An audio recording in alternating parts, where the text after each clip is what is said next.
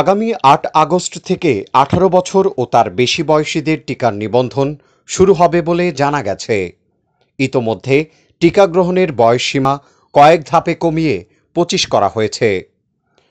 উনতিরিশ জুলাই বৃহস্পতিবার বিকেলে টিকা গ্রহণের বয়সসীমা আঠারো করার বিষয়টি গণমাধ্যমকে নিশ্চিত করেছেন তথ্য ও যোগাযোগ প্রযুক্তি আইসিটি প্রতিমন্ত্রী জুনায়দ আহমেদ পলক।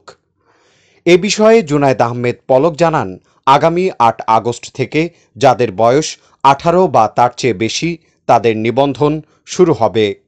যাদের জাতীয় পরিচয়পত্র এনআইডি আছে, তারা অনলাইনে নিবন্ধন করতে পারবেন।